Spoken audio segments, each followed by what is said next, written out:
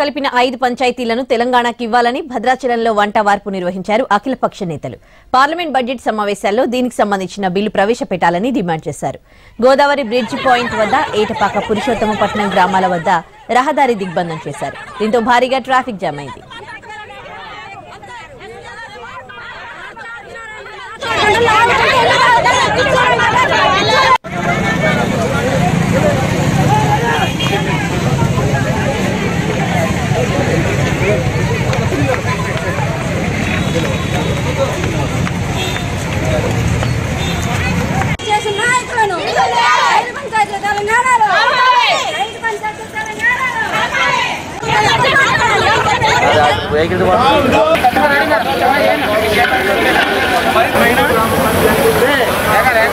master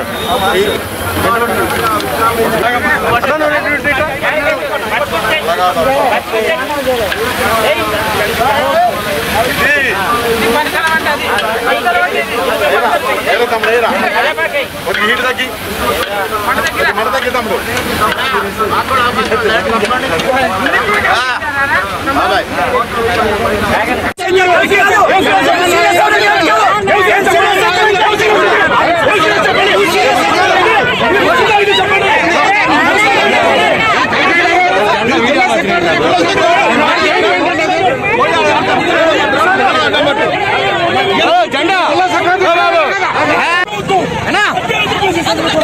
ఐదు పంచాయతీలు భద్రాచలంలోనే ఐదు పంచాయతీలు భద్రాచలంలోనే